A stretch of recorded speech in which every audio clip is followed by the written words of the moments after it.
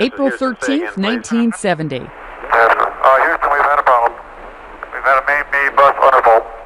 Apollo 13 is crippled on its way to the moon when a tank containing liquid oxygen bursts in its command module.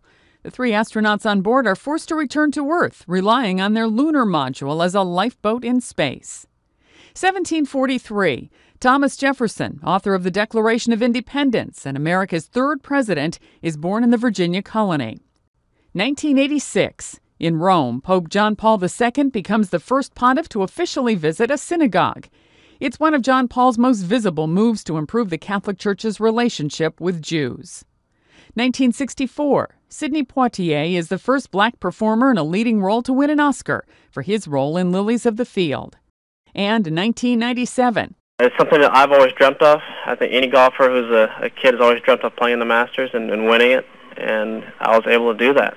21 year old Tiger Woods becomes the youngest player to win the Masters tournament. Woods is also the first person of either African American or Asian heritage to win the Masters. Today in history, April 13th. Sandy Kozel, The Associated Press.